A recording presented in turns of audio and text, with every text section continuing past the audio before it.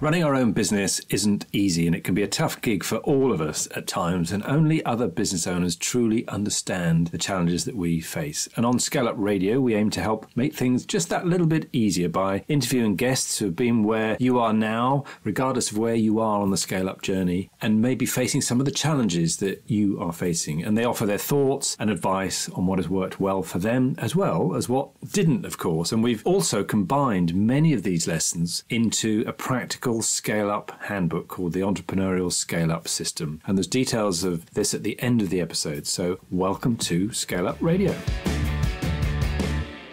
Hello, Ori Hellerstein. Welcome to Scale Up Radio. Please introduce yourself to our audience.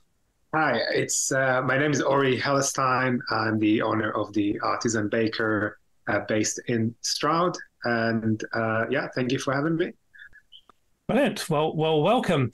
So, Artisan Baker, probably guess what that's about, but please tell us about your business. You know, how how big are you? How long have you been going? What do you do? So we are a bakery, as you can tell uh, from the name. Uh, I started the business back in uh, 2012, so uh, just over 11 years. Uh, yeah, first of November, um, and um, yeah, I started uh, just myself, and now we've got about 27 people. Um, 11 years onwards. So yeah, it's a big pro- progress. Yeah, fantastic. And are, are you only in Stroud?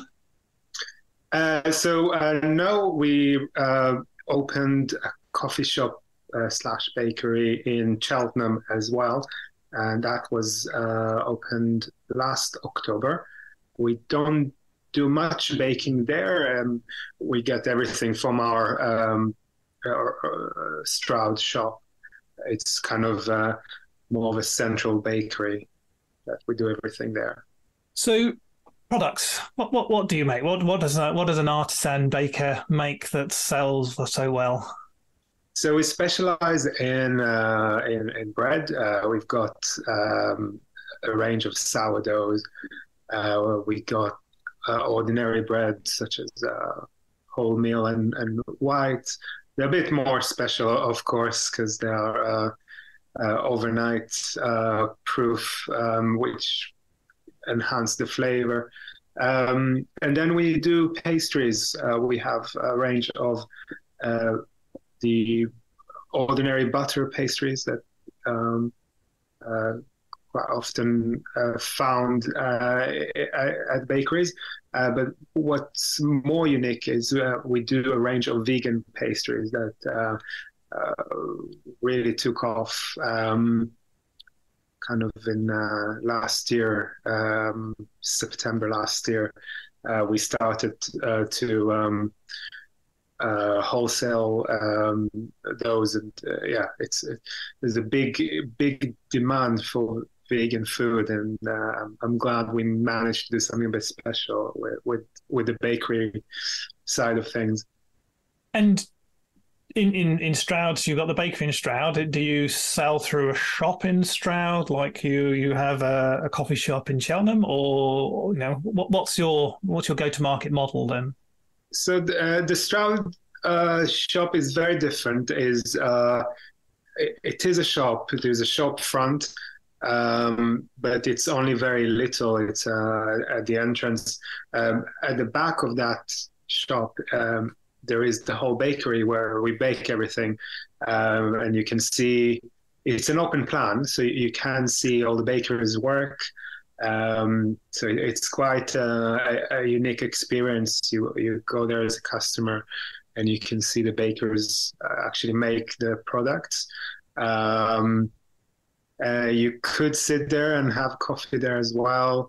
Um, we got probably about ten seats there, but it is it's mainly groceries. You, you buy uh, your pastries, your loaves, uh, and kind of you go home. and then yeah, the the Cheltenham shop is is a is very different. Is uh, to go and, and sit down, relax with friends.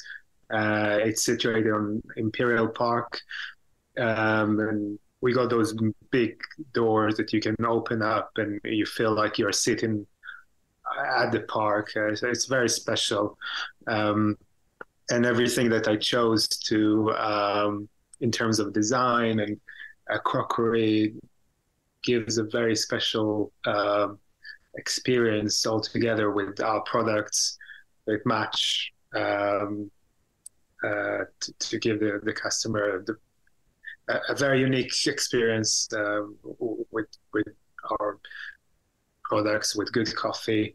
Um, yeah, have you been?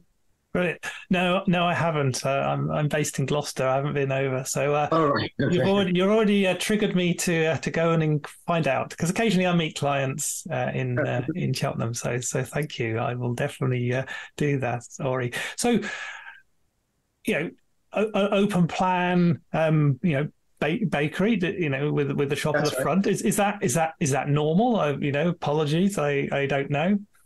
Um, there are a few places like that, but not many. Um, majority of of uh, bakeries uh, shops that you see, it's uh, it's just a, a, shop front, and you can buy your bread and pastry, but uh, you can't see behind the scenes uh, what's going on. And with us, you can. It's uh, very visible.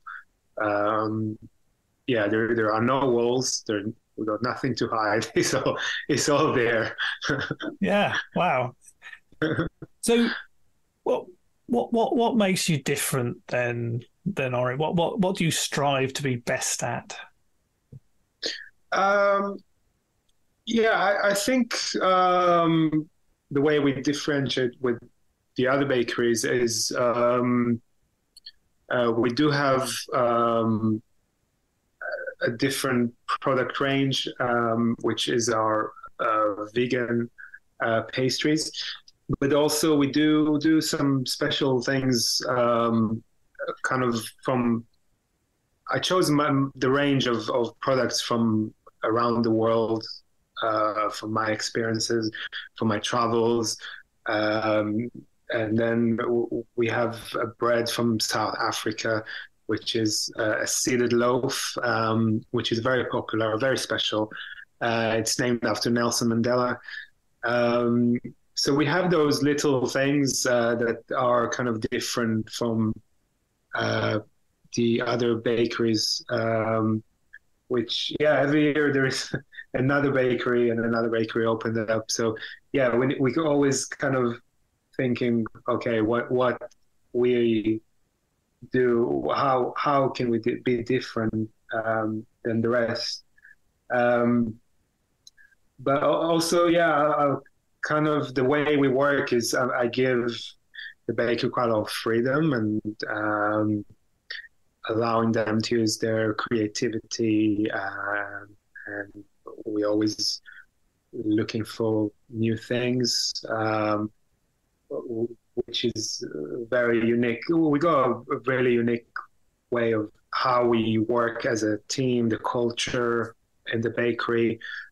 Um, yeah, it's, it's very, very special. It's, it's hard work, um, but we try to have a, a, really nice kind of environment to, to come to work to and and create um, create and and, and bake and um, putting your hands into the work. Um, yeah, it's it's very um, it's very manual uh, work. So kind of we don't have many machinery around. Uh, this is a lot to do with with people's hands.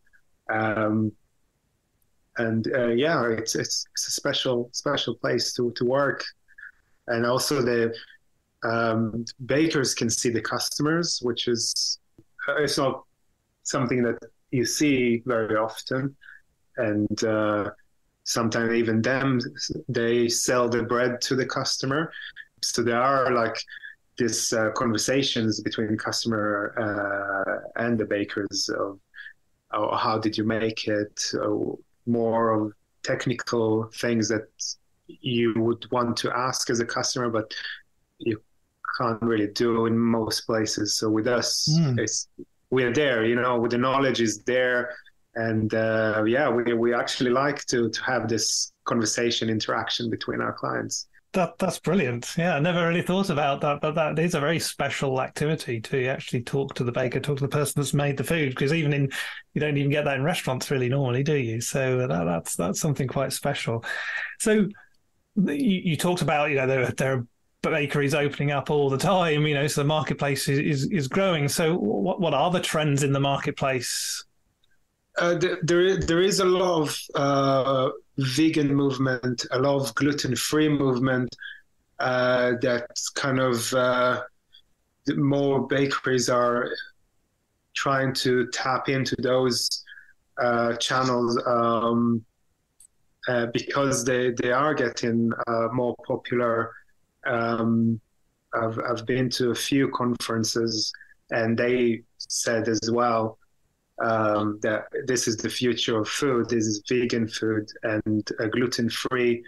Um, and yeah, there, there are more products on those lines that, uh, that we are trying as well as a bakery to explore all the time.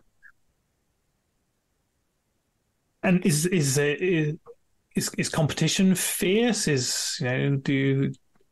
um I think yeah the the recent global events, um, COVID, cost of living, uh, war in Ukraine, um, I think we kind of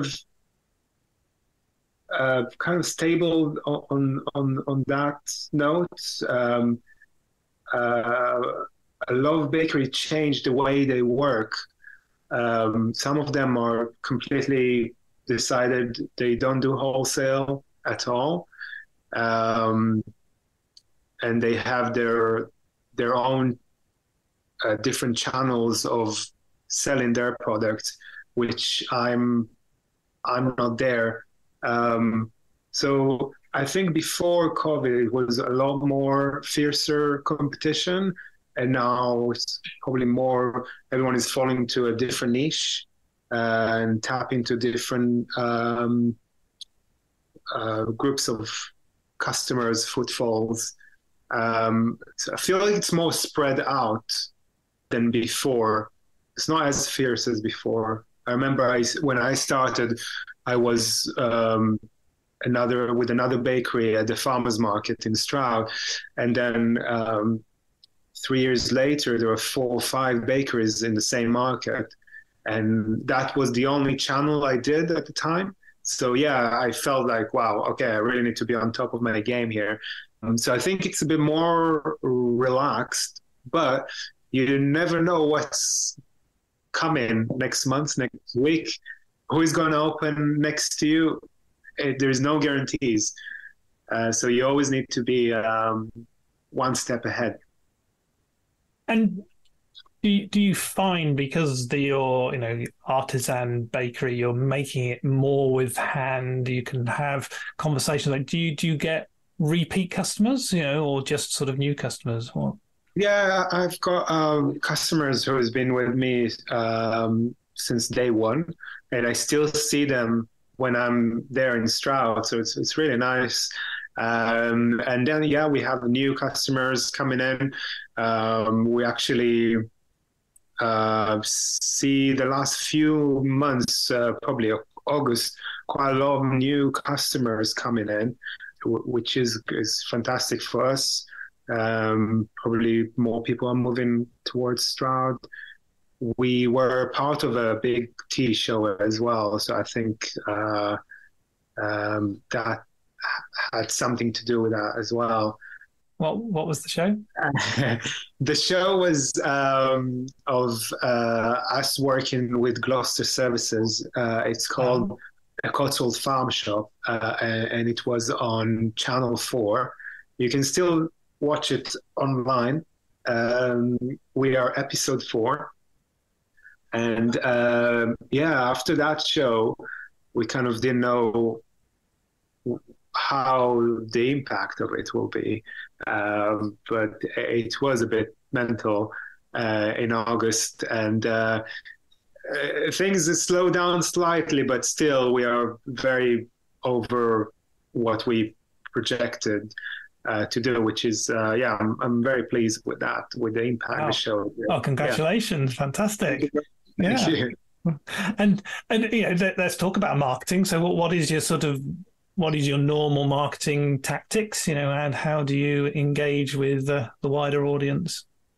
Uh, so yeah, we use the uh, usual suspects: Instagram, Facebook. Um, we try to do uh, two, three weekly posts and stories on social media. Um, and uh, I think that that's kind of pretty much uh, it in terms of um, uh, PR that we, we do. Um, because I've been around for quite quite some time, eleven years, um, I, I, I get um, more recognizable than uh, when I first started. So um, it's it is easier uh, for sure. Um, the TV show was something that I, I didn't plan before, um, and when I was asked to be part of it, I, I definitely jumped on it. Um, but yeah, the the viewing rating was over a million uh, million people watched that uh, across the country. So um, yeah, I do get stopped every now and again, and uh, people say, "Oh, we saw you on on this show," and uh, it's, it's quite funny.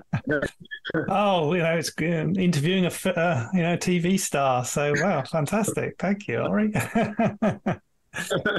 let, let, let's go back now to you know, the journey, the growth from 11 years, 27 people. We've got some really interesting conversations to come. I'm really sure about that. So go back to the beginning. What, why did you start the uh, Artisan Baker? What was the the start of it?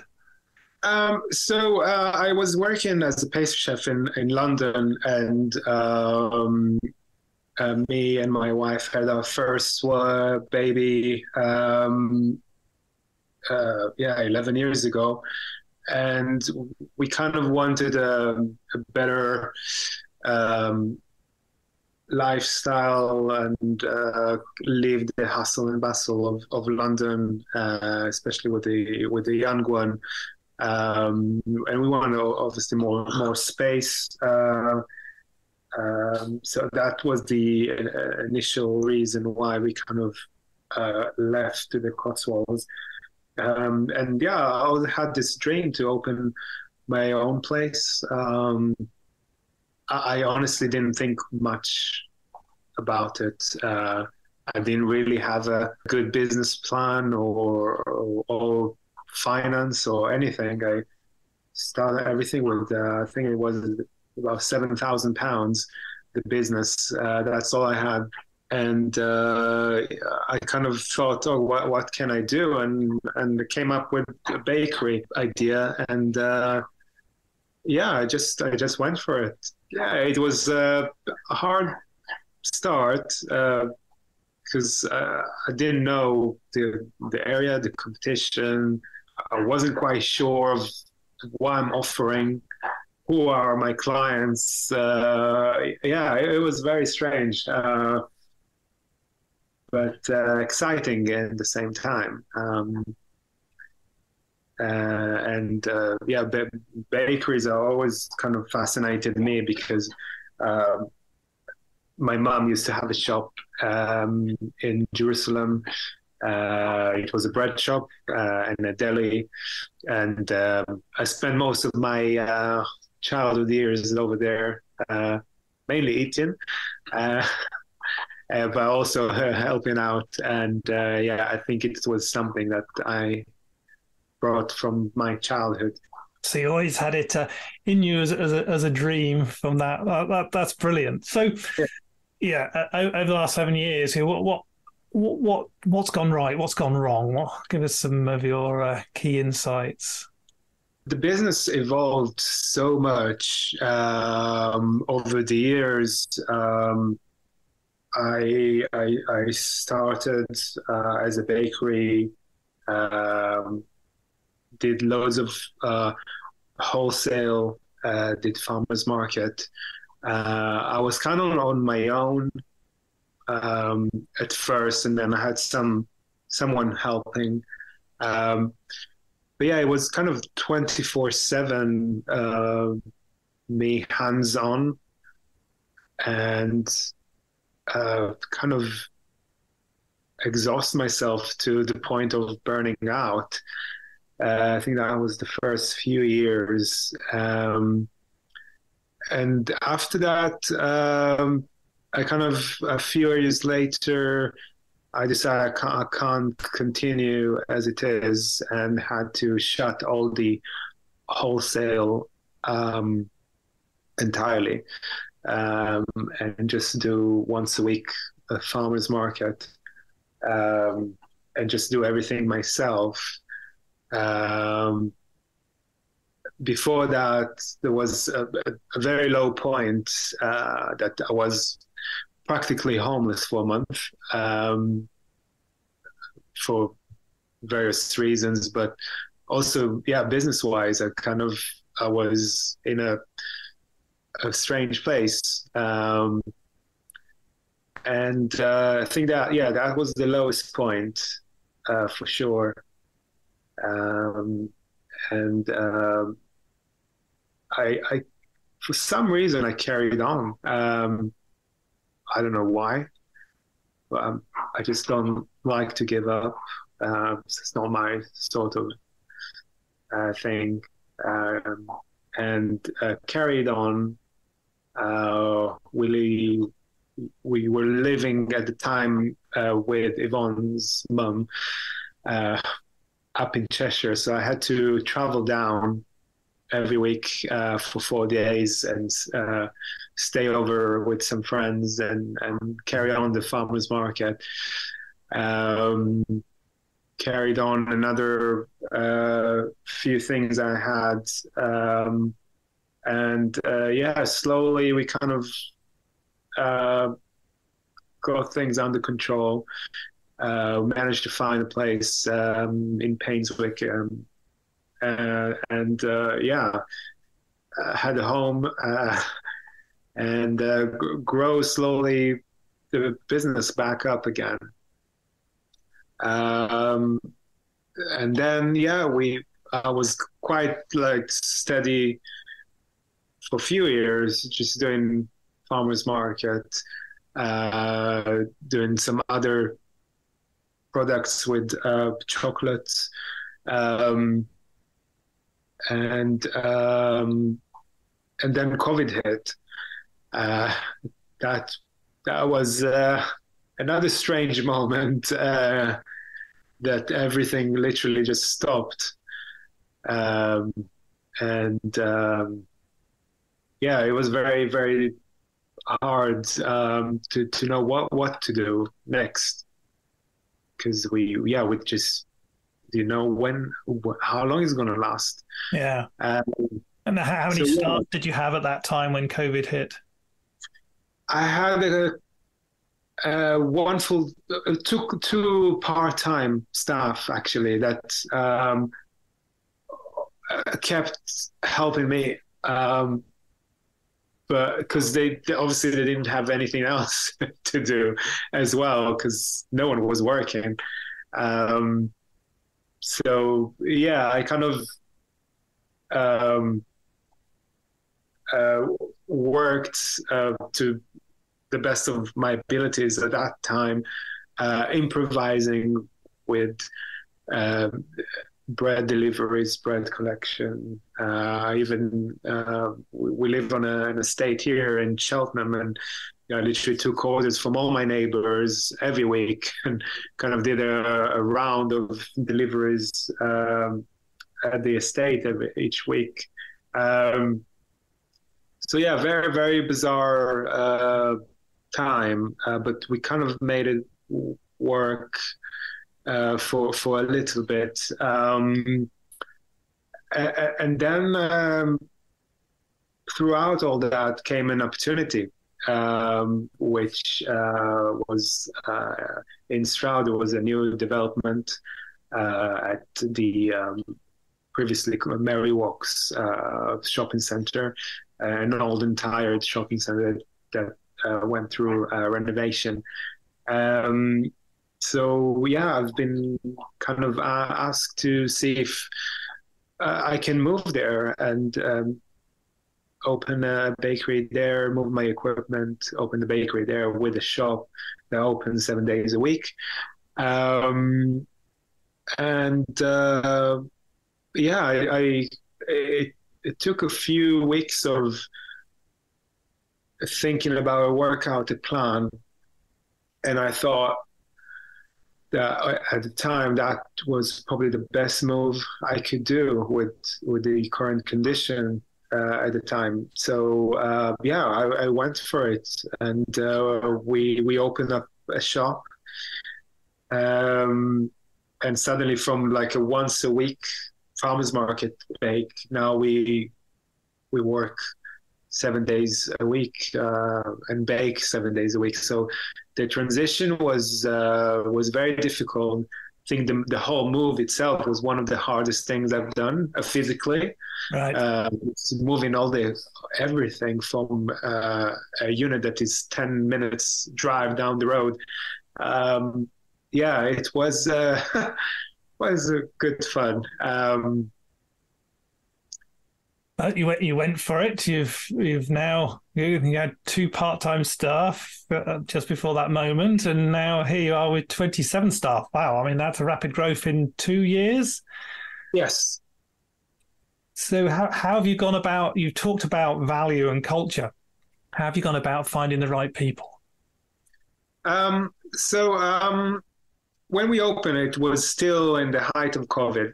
Um, and although it was very exciting and um, moving to a new premises, having your own shop, but still uh, the footfall wasn't there uh, for obvious reasons. Um, and um, I mean, we, we were very fortunate and, and lucky to have help from the government, uh, all, all, the uh, hospitality grants kind of really helped us to to keep going and, not to be forced to be shut. Um, and I, I, haven't furloughed anyone. We we kept our stuff. We still opened up, but it was it was very quiet. I must say, it was very quiet for for a couple of years, and um, yeah, I had to think, okay, how how we change this strategy and make, make it work. Um, because yeah, it, it just um, putting everything on on figures and uh, with the footfall we had just didn't make sense. Um, so I had to uh, do a good rethink, and uh, then I decided to start uh, the wholesale back again. Uh, so I used my contacts with uh, uh, with a few great businesses uh, such as Gloucester Services, uh, Jolly Nice, um, and we started uh, to have the conversation with them. And uh, yeah, there, there, was there was the um, the opportunity to actually make it work. Um, so we started that, and uh, while we uh, having those discussions, we also um, had a, a, plan to open another uh, shop for for ourselves uh, in Cheltenham, in a in a in a great location where footfall isn't isn't a, an issue. Um, and, it, and it's in a prime location and uh, we thought, okay, we'll open uh, a second shop, but it will be very much acting like a, a wholesale. So we supply our Cheltenham shop with our products uh, as part of the wholesale uh, kind of uh, delivery route. Um, so um, yeah, from um, uh, 270,000 pounds turnover uh, last year. We are now uh, talking about 940,000.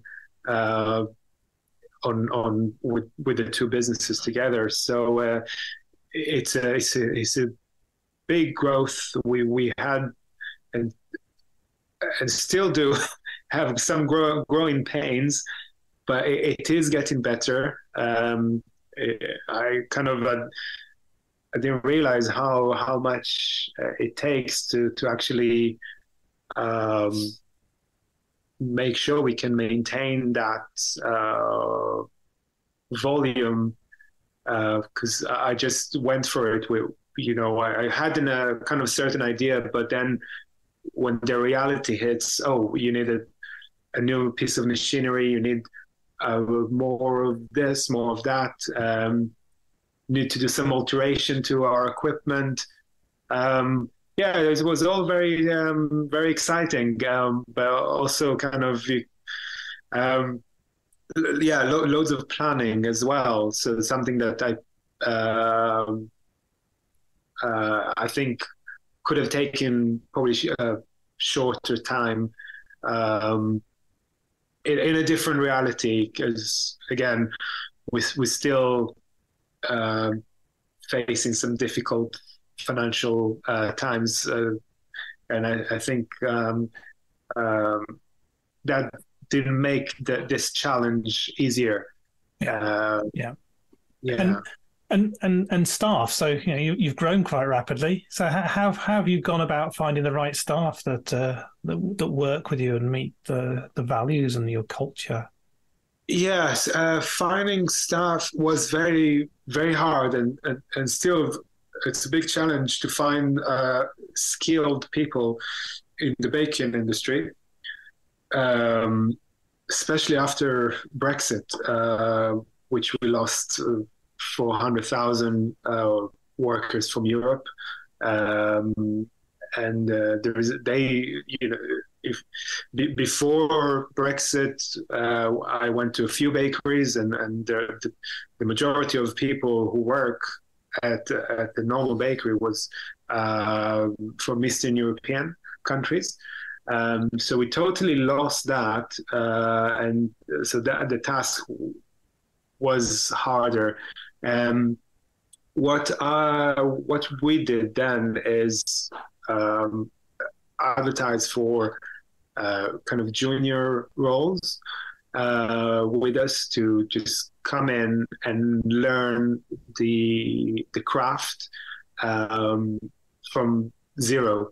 Uh, all, all, you needed is is uh, is, is to be uh, with passion. That you, you know, if you have an Instagram of uh, loads of pictures of, of, what I've made and stuff like that, yeah, you're you are the right person for us. And uh, uh, p- people who love baking. I think that was the the first thing that, uh, yeah, that ticked the the the right um, box for us to to join and and to have the willing to learn.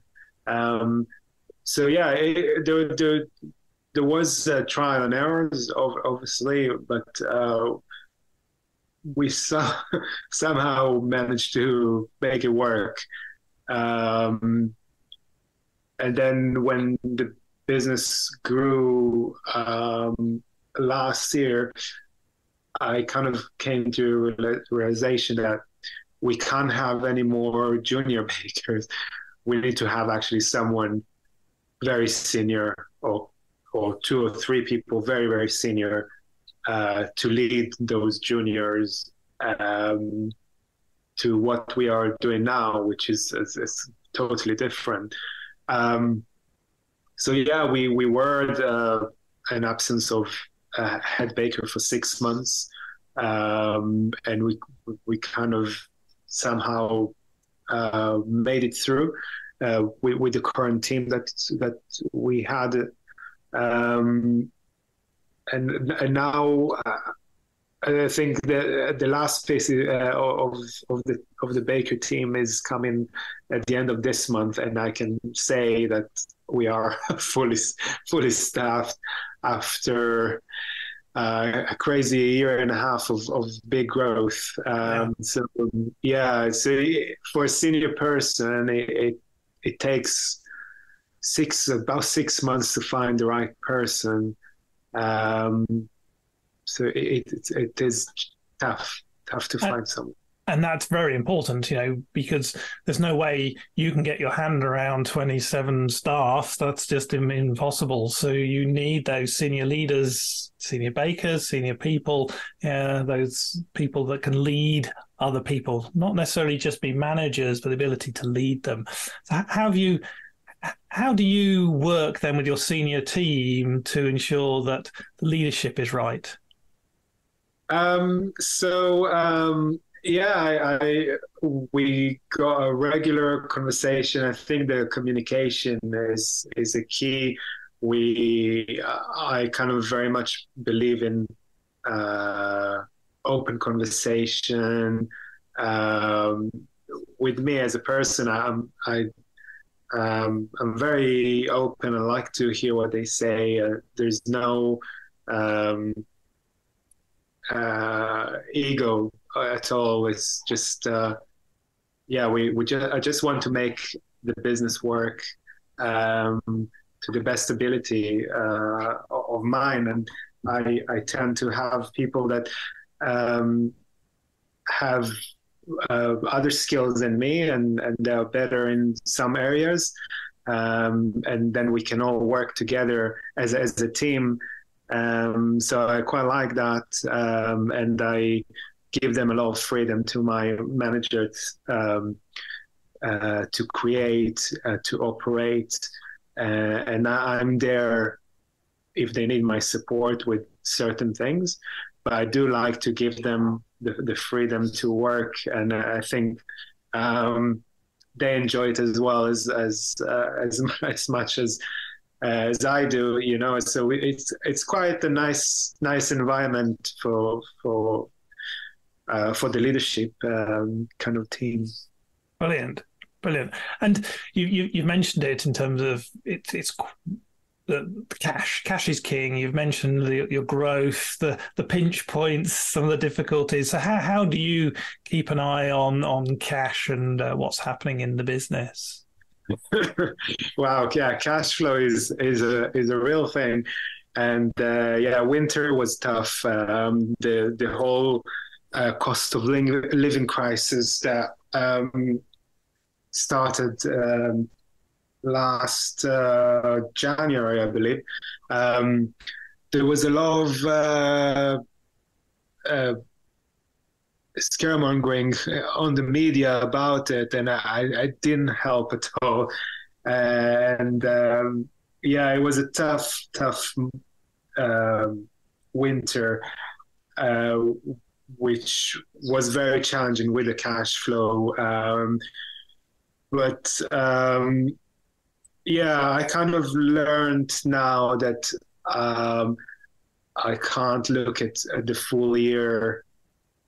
Uh, I, I, can't kind of uh, work with just what's at present, what's in front of me at the moment. I need to think about, okay, yes, uh, the first quarter is always quiet, and then uh, summer will come, uh, and and and things will kind of waking up a bit. Um, so um, I think that's for me was a good lesson to to learn uh, this year because everything is kind of new to me now with with this new model um, so I keep learning myself.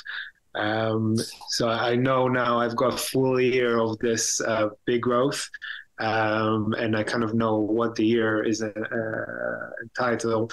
Um, so I do loads of projections, um, uh, cash flow projections for the following year. I got a plan till uh, end of uh, 2024. Um, uh, which I can I know exactly how I am with, with the cash flow. Uh, I know exactly uh, when are the big events in Cheltenham, like the literature festival uh, a few weeks ago. I, I know it's going to be super busy, um, so I can plan um, uh, my year uh, accordingly. Brilliant. Yes, no, it becomes very important to start to know the cycles, know the cash cycles, see what's happening, and build that. So, and, yes. and uh, gives you that trust and that capability. So, thank you so much. Really inspiring to to hear that growth that you've naturally developed uh, as you've gone through each of the stages of your business development. So, um, so we're going to have a coffee or come to your shop in five years' time. You know, maybe more than one, but uh, you know, and we're going to sit and talk about the last five years. So, what's happened both professionally and personally for you for those five years to be a success? Um, I think uh, if we break it uh, down a bit, so I think uh, the following year will be concentrating how we uh, polish our operation how we minimize mistakes, um, how we work better uh, as a team, making bit more systems in place that uh, we are currently building. Um, and then once that is sorted, um, I think we can then look at perhaps opening uh, another coffee shop somewhere in the Cotswolds. Um, one or two. Um, and yeah, that's kind of where the business can go. Um, once we sort out the how the how we work now as a, a as a um, with the growth that we've done, and then we know a bit better how to scale it up. But um, I think to scale up again three times it's something that I don't think is wise to do, and so I think the growth will be a bit uh, slower this this uh, next five years. Wow. Oh, that, that's a, really inspiring. You know, yeah, you doubled it, but I mean, maybe you don't need to slow down. We'll see. We'll see. So, I mean, thank you for this amazing conversation. You know, started yeah, back yeah. in 2012. You know what what you've done from those really difficult days when you talked about you know things weren't working you know you uh, had to move out you know you were traveling to and from um, you know to to get to the, the baking done and only working you know with with a few people. Along came covid and and the difficulties in that. But what what's really inspiring is you then went ah, here's an opportunity. I'm going to go for it. You could see where you could go. And you've always had that mind, that eye of where you wanted to go because you've seen that, that bakery. You, you grew up in a bakery with, with your mother. You saw that, what could be done. And you knew that. And you knew that would be the right move it's always hard, absolutely. And you talked about having to move the equipment yourself and the difficulties of it, and the cash flow and the diff- and the structures. And COVID still wasn't over, but you had that passion, you had that direction, you knew what you wanted to do. And since then, you know, you've grown the business. You've now got a coffee shop. You've moved into vegan pastries. You've built a leadership team around you, and you're giving them the power to grow the business and be successful in their own rights with with you. And I can definitely see that you'll easily achieve the growth for your next three, four coffee shops, if not more. I think you're underestimating the skill of building a business and that's what you've gone through and achieved. And thank you so much for those great thoughts of wisdom that you've given us today. So we always finish with a quick fire round. So if i may um, if you go back to your younger self what advice would you give yourself? Wow. Um, so um, I, I think um, yeah, patient, um, uh, and just kind of breathe a bit more. I think that that's probably the the best thing, um, and just yeah, if things what like what's the worst can happen, you know. Brilliant. So I, I'm very spiritual, so I kind of I learned over the years that yeah, just just breathe everything will be fine uh, as long as you have a plan and you're committed. Brilliant. Yes, if you have a command a plan and you are committed, thank you. Really good advice. Which books do you recommend? Um, so I, I I like two particular books that um, I think will be uh, great for any any person who would like to open a business. Uh, so one is uh, Tony Robbins. Um, Uh, it's it's on Audible. Um, I I don't have much time to read, so I do put the Audible on my way to Stroud.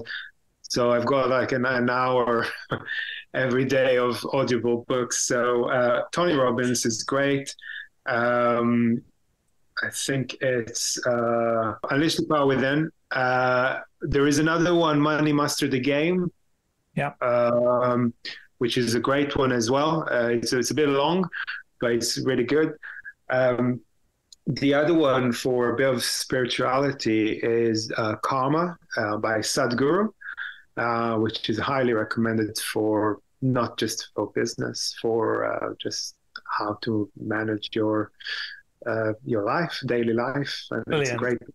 Okay, on your on your mobile phone, are there any apps that make a difference for you?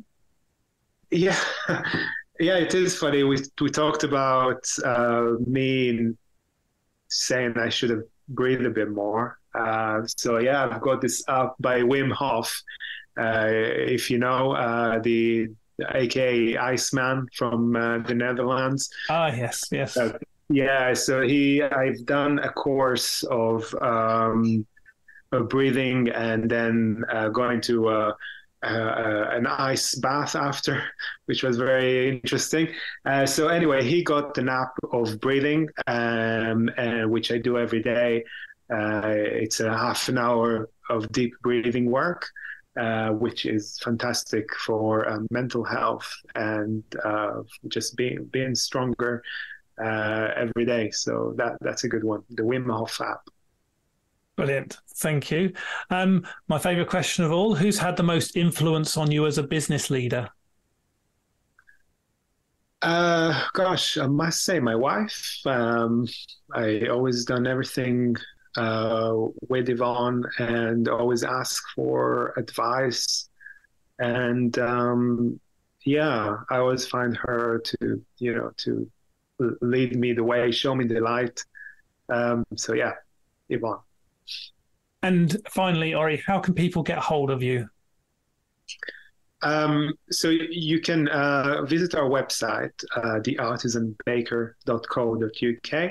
Um, there is an email address there, um, which is inquiries at theartisanbaker.co.uk.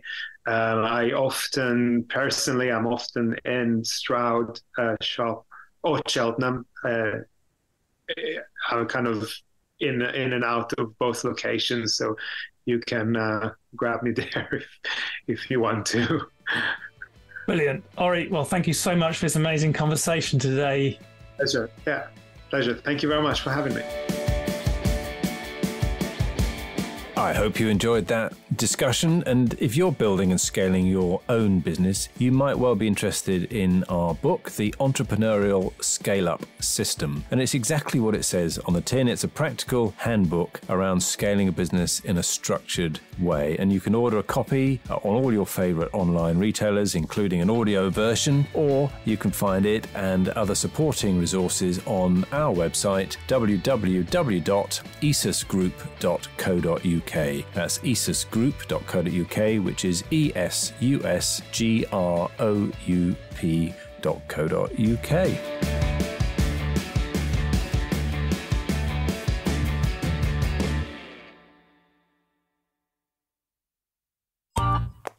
This has been a Monkey Pants Productions podcast.